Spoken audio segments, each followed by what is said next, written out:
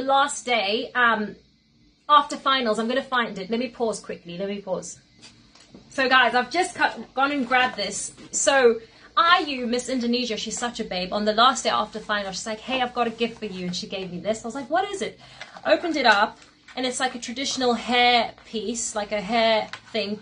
And it's real silver. Girl, how are you just going to drop gems? So, I don't know how to use it, but like, how cute, guys. How cute is that? So, Miss Indonesia is such a lovely sweetheart.